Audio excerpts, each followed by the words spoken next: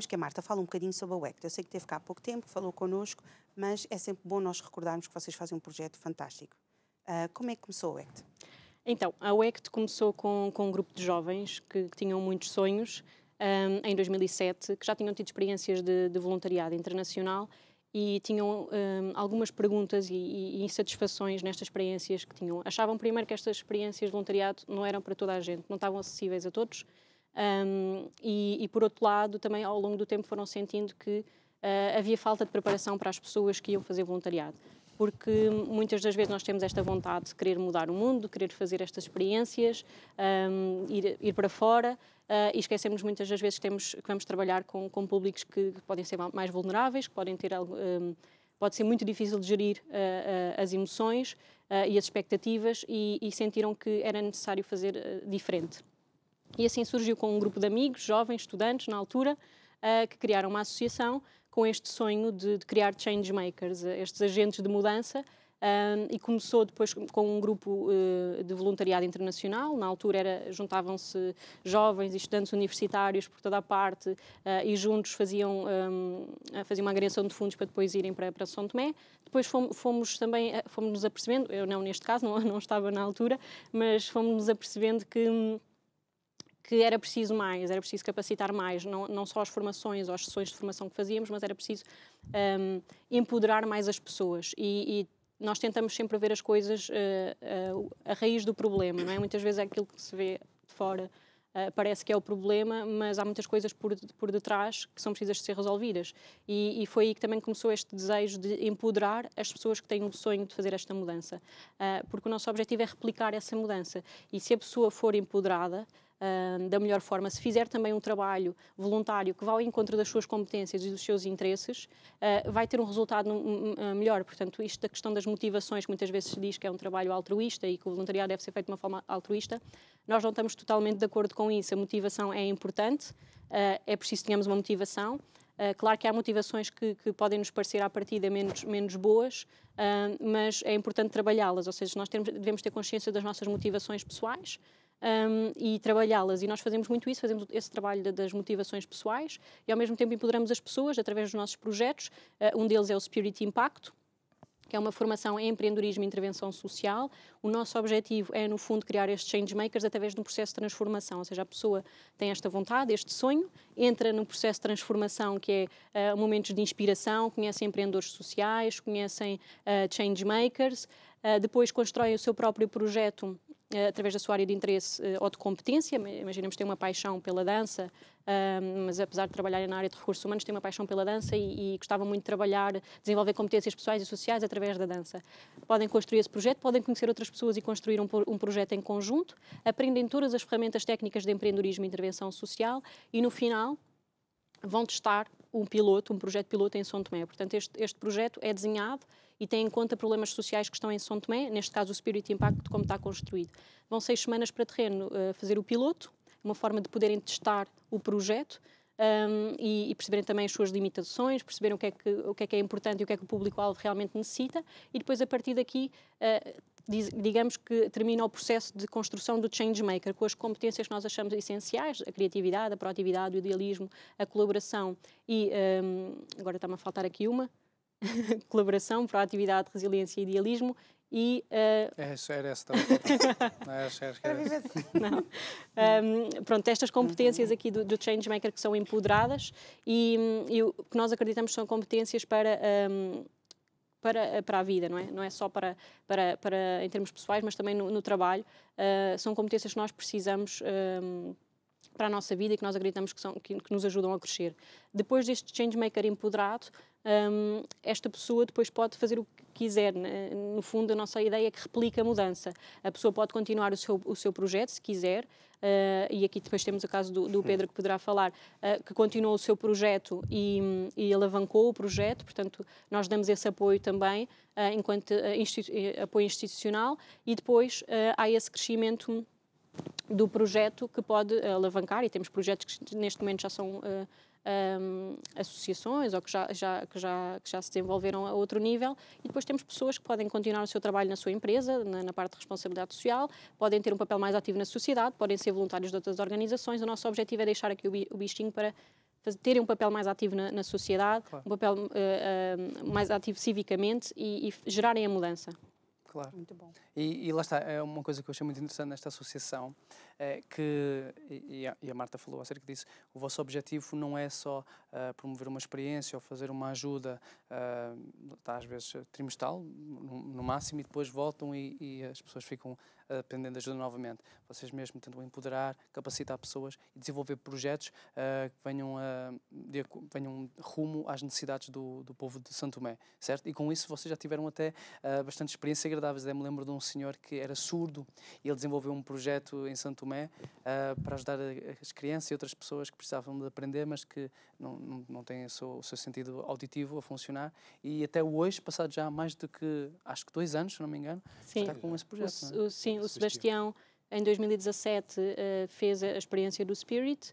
Uh, começou a desenvolver o projeto nesta área, percebeu também que era uma área de paixão, uh, portanto, muitas vezes também acontece, às vezes temos estes problemas sociais e aquilo que nós queremos desenvolver muitas vezes está ligado a interesses pessoais e, e paixões nossas, não é?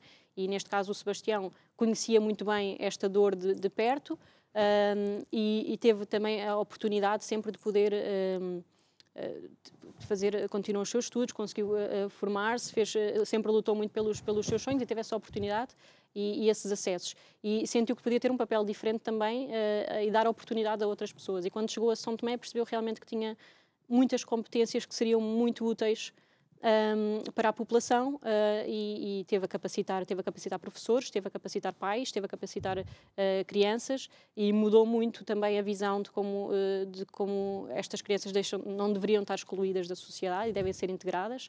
E depois esteve lá cerca de dois anos quase e regressou e neste momento está a trabalhar também com a Católica com a Universidade Católica e a desenvolver a continuar a desenvolver projetos nesta área um, e, e vai continuar a crescer e, e, e, pronto, é muito bom ver uh, também que há, aquilo que lhe interessa uh, e a sua paixão está a ter uh, também frutos e está a ter resultados. Espetacular. Bom, é? E Pedro, como é que conheceu a WEC? Você fez parte de uma destas experiências Exatamente. que é Spirit Impact. Não é? Exatamente. Eu conheci a WEC na mesma altura que a Marta. Exatamente. Porque nós fizemos os dois o Spirit em 2017 Okay. Onde, lá está, que ainda estamos para fazer este, esta formação de empreendedorismo social e depois construir o nosso projeto e ir para São Tomé. E em 2017 eu fui, fui eu, mais o meu grupo, que, que é o Boa Energia, e depois a Marta também estava com outro projeto e acabou depois ficar pela, pela UECT a nível da direção. Hoje também faz parte de. É, é, a Marta faz, eu sou, sou participo. Uhum. não, não, não faço parte da direção, mas sou associado. Uhum. Mas como é que foi a experiência também fazer parte de um projeto de voluntariado, não é verdade? Uh, sobretudo em Santo Tomé, que já ouvi dizer que é uma terra lindíssima, tem é um incrível. povo fantástico. Sim, não, é, lá está. O ECT destaca-se porque, uh, pelo facto de nos dar a oportunidade de nós fazermos o nosso próprio projeto. Eu acho que eu, na altura, senti que queria fazer alguma coisa a nível de voluntariado, queria ir para um país assim em desenvolvimento, seja em África, onde fosse, e estava à procura de um desafio mas sempre me chateou um pouco de ir para projetos que já existiam, porque eu, eu sou de gestão e eu, pronto, normalmente temos a falar sempre de projetos a nível de educação, a nível de alimentação, pronto, e apesar de existem sempre essas necessidades, não estou a dizer que não, mas nunca foi algo que eu sentisse que fosse uma mais-valia. E quando eu, vou, quando eu descubro o ACT e, e vejo que há a oportunidade de fazer o meu próprio projeto, eu acabei por não fazer o meu projeto, acabei por ingressar num projeto que já vinha de 2016, mas percebi que, que fazia sentido que, que ia entrar numa área, porque o nosso projeto era era, era e é. Nós pegamos São Tomé, eh, tem a floresta, não é? Estamos a falar quase 70% da área de São Tomé é floresta. E é dos poucos países do mundo que tem uma floresta primária ainda, além da, da Amazónia, que é algo extraordinário. Uhum. E o que acontece é, eh, a população vive da, da floresta, vive da, do, é? das árvores. Portanto, as casas são feitas de madeira, a mobília é feita de madeira, tudo é feito de madeira. Mas também o carvão. E o carvão representa 60% de, do consumo energético que existe em São Tomé para cozinhar e tudo mais. O que acontece? Existe abate de árvores para a produção de madeira e existe também abate de árvores para a produção de carvão. Estamos a abater duas vezes as árvores. O que é que nós fazemos? Nós queremos é, as árvores, existe um controle para o abate das árvores para nível de, de casas e carpintaria, o Estado consegue regular isso. Mas a nível do carvão não existe essa regulamentação. Então o que nós fazemos é utilizar a, serradura, que é na produção que é feita pelas casas, móveis, existe aquela serradura, uhum. fazer briquetes para eles utilizarem em vez do carvão. Os briquetes é tal e qual como o carvão. Pronto, nós temos uma máquina, compactamos aquilo com, com água e depois faz uma espécie de um, pronto, chamamos briquetes, como é que é de explicar? Tipo, não sei se tem ideia. Eu acho que nós já chegámos a ver aqui da outra vez no programa. vamos, dizer, tipo, ah, vamos, ver, vamos ver aqui no vídeo. Uma espécie de umas bolachas, uhum. assim, que eles podem, pronto, que arde e faz toda a função igual ao carvão. E isto estamos a dar oportunidade, é a chamada economia circular. Em vez de termos uhum. dois círculos, não é?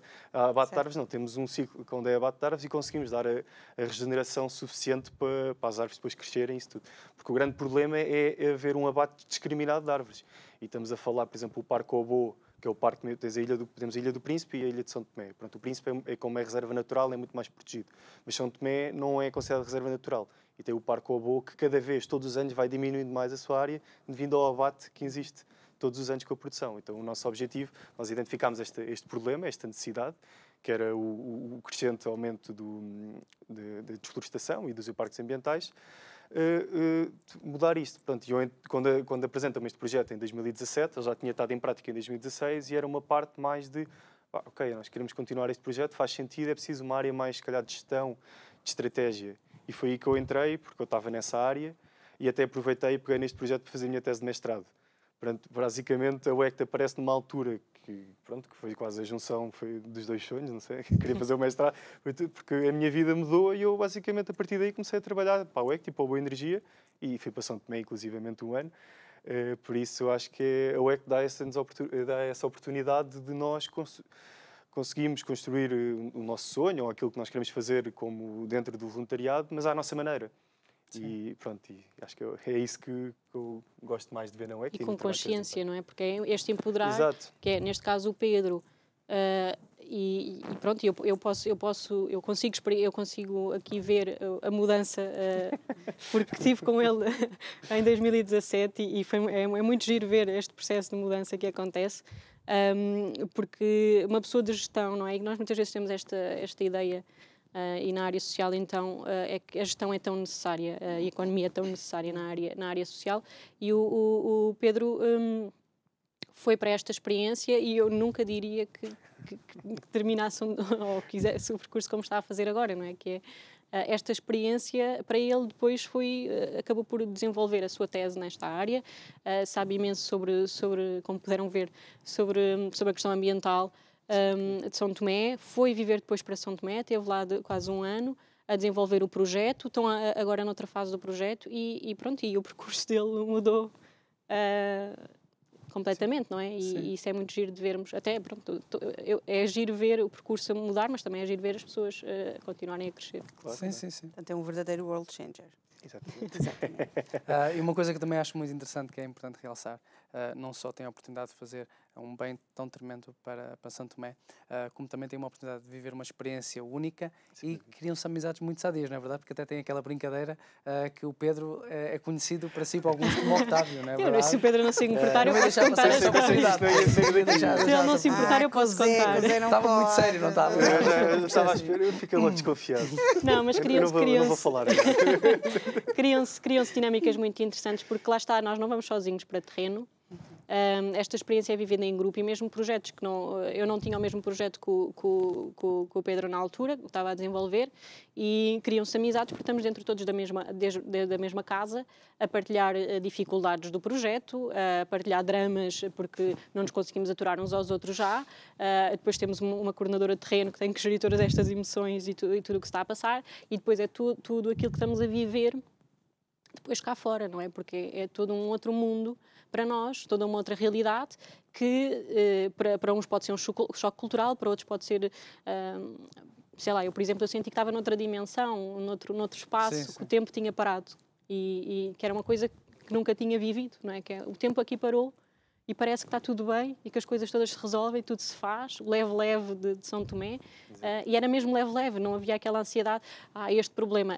Havia-se, ah, não conseguimos, olha, as pessoas não apareceram, não apareceram na formação, não conseguimos fazer. Hum, passado uma hora as coisas já estavam a, a ser resolvidas. E, e era, era é, é, também viver a cultura e aquilo que nos traz e que nos ensina também a, a, a população. E isso é, é, muito bonito de ver todo este, tudo aquilo que acontece e por isso é que transforma tantas pessoas, porque é o, o conviver, não é? Uh, fazer, termos as nossas dinâmicas da casa, um, depois fazermos projetos, termos os projetos com a população, fazermos tudo isto é todo um processo de crescimento.